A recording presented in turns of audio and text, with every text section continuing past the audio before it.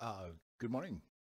Uh, it's me, Brad, uh, doing one of my least favorite things, which is using video as a means of communication, which I hate to do outside of work Zoom meetings, which I have to do a lot these days, and so does everybody else.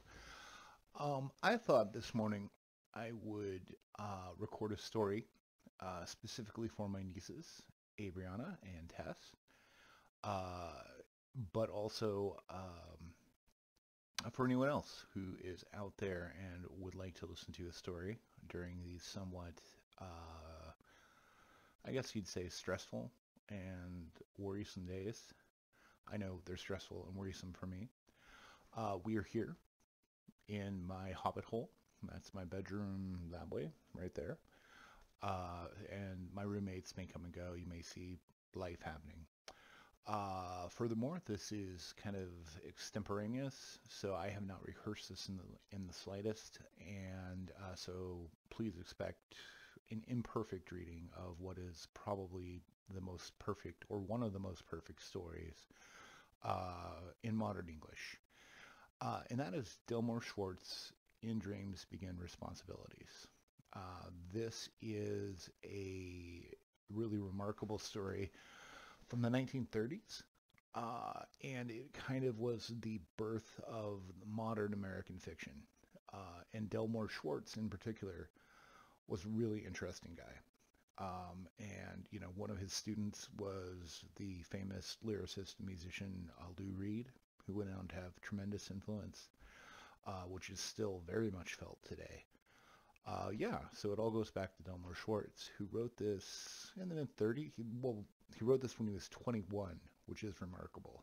Uh, the story goes that he wrote this basically in one sitting over a single weekend, which if, if you've ever tried to write a story, you know how extraordinarily difficult that is.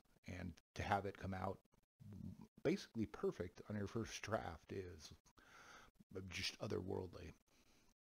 Um, so anyway, this is of course a story that I respect a great deal, and I hope you like it.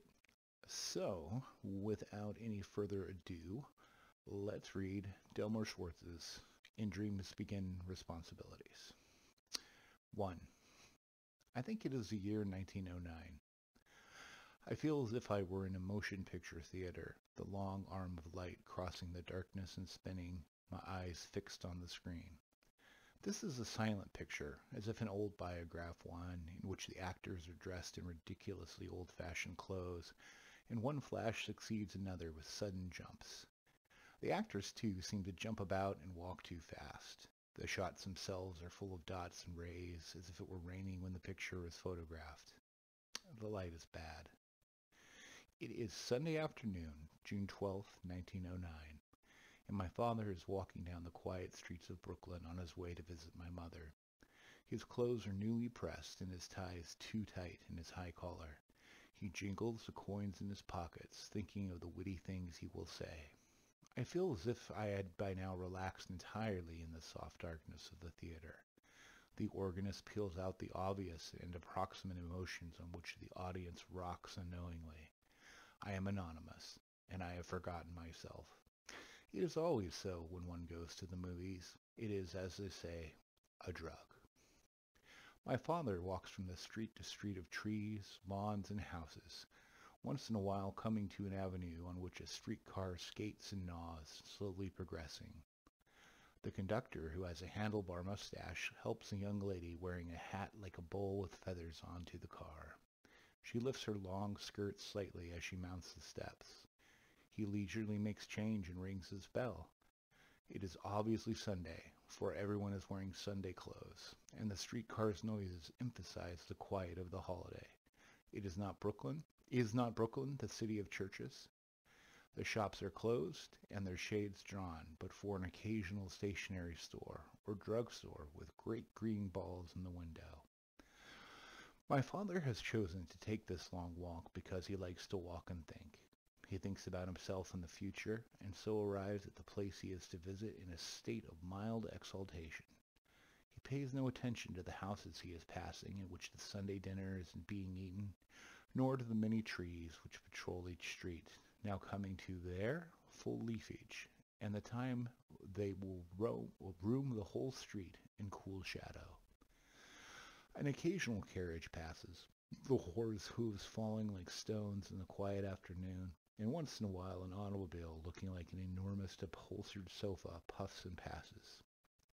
My father thinks of my mother, of how nice it will be to introduce her to his family, and he's not yet sure that he wants to marry her, and once in a while he becomes panicky about the bond already established.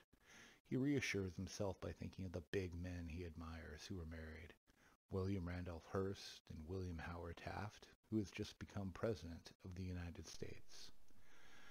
My father arrives at my mother's house. He has come too early and is so suddenly embarrassed. My aunt, my mother's sister, answers the loud bell with her napkin in her hand, for the family is still at dinner. As my father enters, my grandfather rises from the table and shakes hands with him. My mother has run upstairs to tidy herself. My grandmother asks my father if he has had dinner and tells him that Rose will be downstairs soon. My grandfather opens the conversation by remarking on the mild June weather. My father sits uncomfortably near the table, holding his hat in his hand. My grandmother tells my aunt to take my father's hat. My uncle, 12 years old, runs into the house, his hair tousled. He shouts a greeting to my father, who has often given him a nickel, and then runs upstairs. It is evident that the respect in which my father is held in this is held in this household is tempered by a good deal of mirth. He is impressive, yet he is very awkward. 2. Finally, my mother comes downstairs, all dressed up, and my father, being engaged in conversation with my grandfather, becomes uneasy, not knowing whether to greet my mother or to continue the conversation. He gets up from the chair clumsily and says hello gruffly. My grandfather watches, examining their congruence, such as it is, with a critical eye, meanwhile rubbing his bearded cheek roughly, as he always does when he reflects. He is worried. He is afraid that my father will not make a good husband for his oldest daughter. At this point, something happens in the film, just as my father is saying something funny to my mother, and I am awakened to myself and my unhappiness, just as my interest was rising. The audience begins to clap impatiently. Then the trouble is cared for, but the film has returned to a portion just shown, and once more I see my grandfather rubbing his bearded cheek and pondering my father's character. It's difficult to get back into the picture once more and forget myself, but just as my mother giggles at my father's words, the darkness drowns me. My mother, uh, my father and mother depart from the house, my father shaking hands with my mother once more out of some unknown uneasiness. I stir uneasily too, also, slouched in the hard chair of the theater. Where is the older uncle, my older, my mother's older brother? He's studying in his bedroom upstairs, studying for his final examination at the College of the City of New York, having been dead of rapid pneumonia for the last 21 years. My mother and father walk down the same quiet streets once more. My mother is holding my father's arm and telling him of the novel, which she has been reading. And my father utters judgments of the characters as the plot is made clear to him.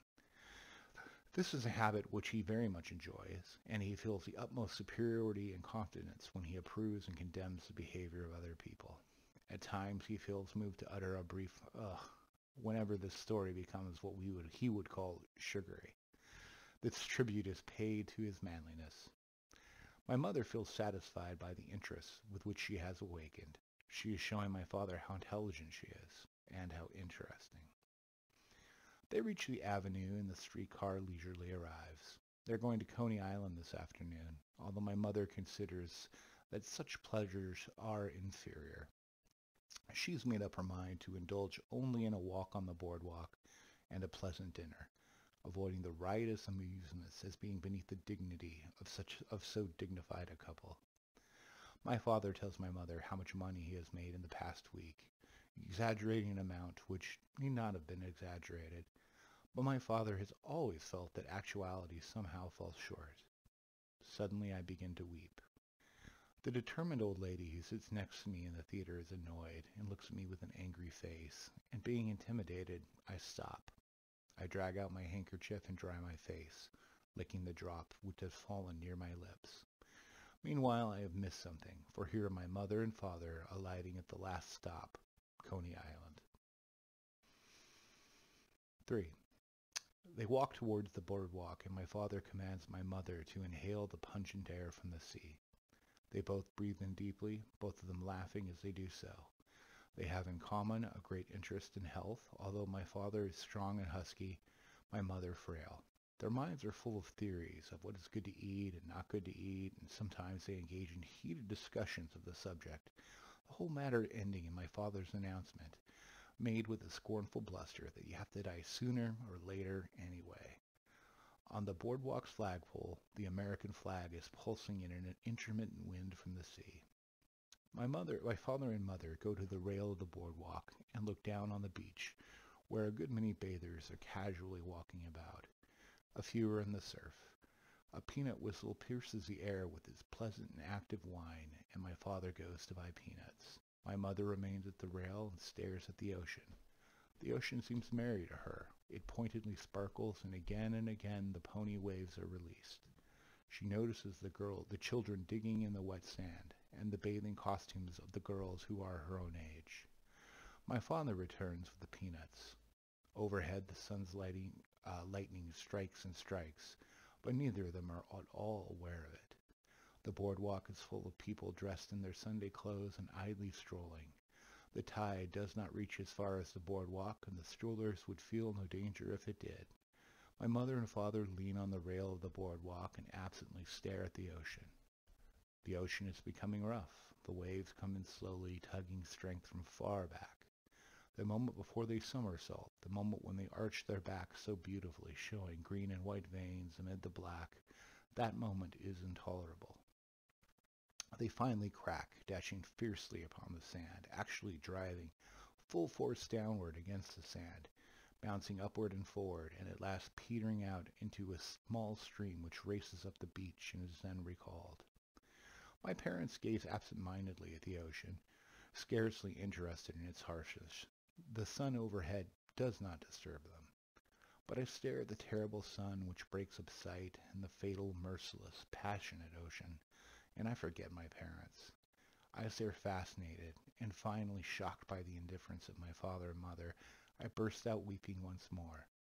The old lady next to me pats me on the shoulder and says, There, there, all this is only a movie, young man, only a movie.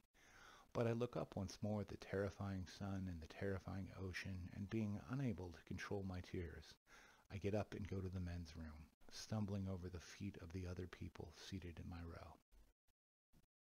4.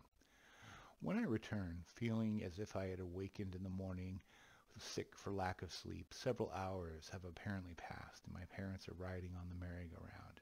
My father's on a black horse, my mother on a white one, and they seem to be making an eternal circuit for the single purpose of snatching the nickel rings, which are attached to the arm of one of the posts. A hand organ is playing. It is one with the ceaseless circling of the merry-go-round. For a moment, it seems that they will never get off the merry-go-round because it will never stop. I feel like one who looks down on the avenue from the 50th story of a building. But at length they do get off. Even the music of the hand organ has ceased for a moment. My father has acquired ten rings, my mother only two, although it was my mother who really wanted them.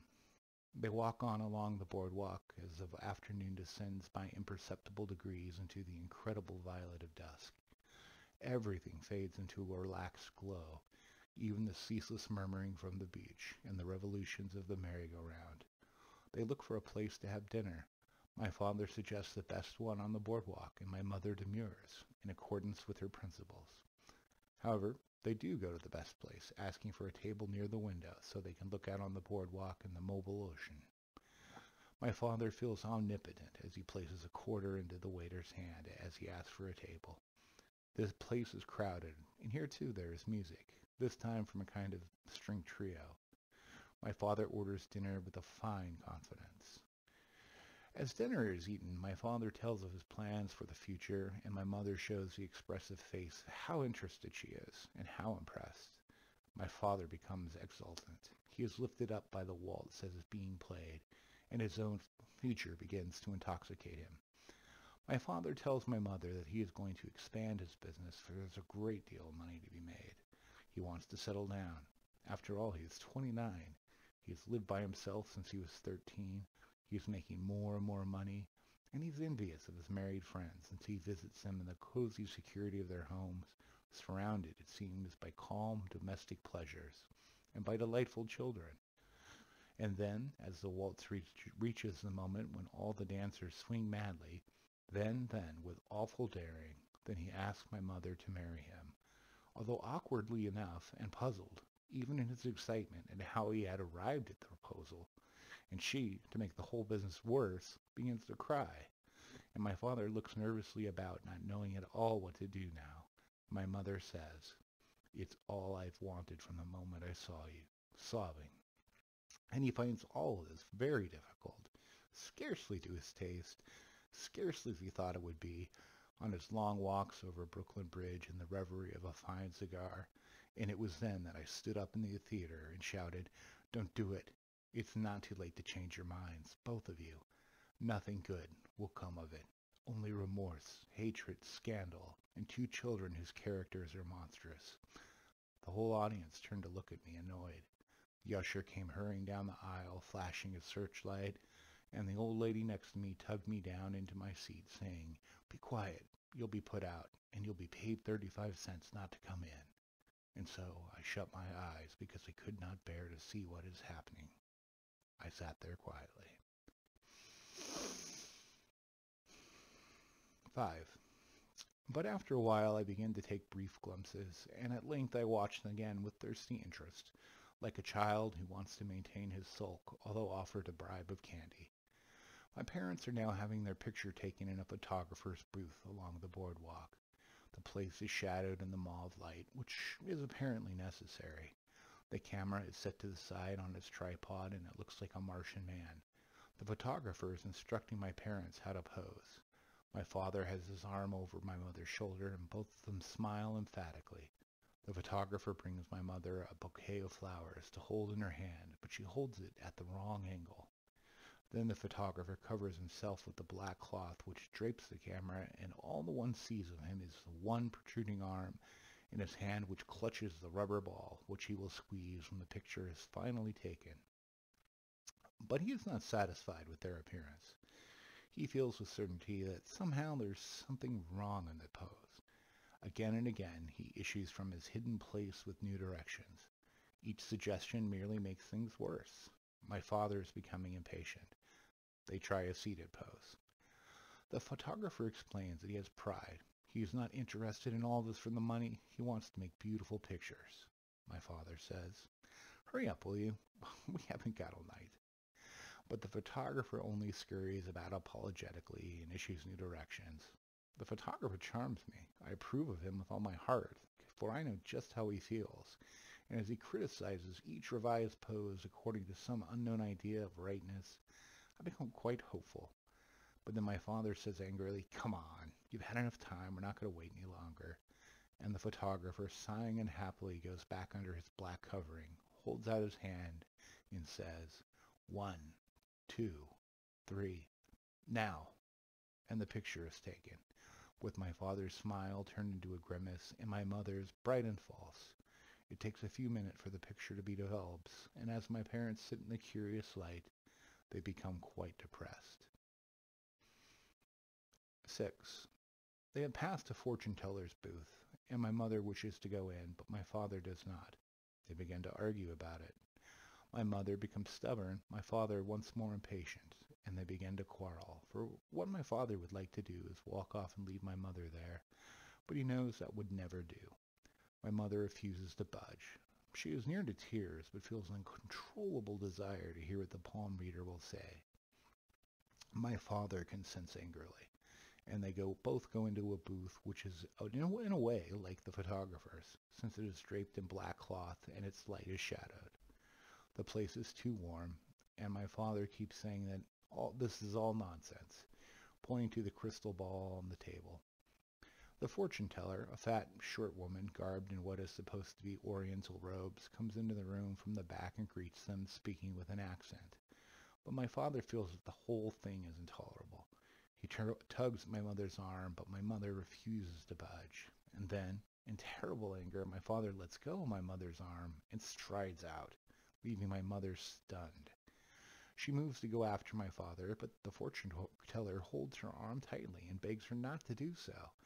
And I, in my seat, am shocked more than it can ever be said, for I feel as if I were walking a tightrope a hundred feet over a circus audience, and suddenly the rope showing signs of breaking, and I get up to my seat and begin, begin to shout once more the first words I can think of to communicate my terrible fear, and once more the usher comes hurrying down the aisle, flashing a searchlight, and the old lady pleads with me, and the shocked audience is turned to stare at me.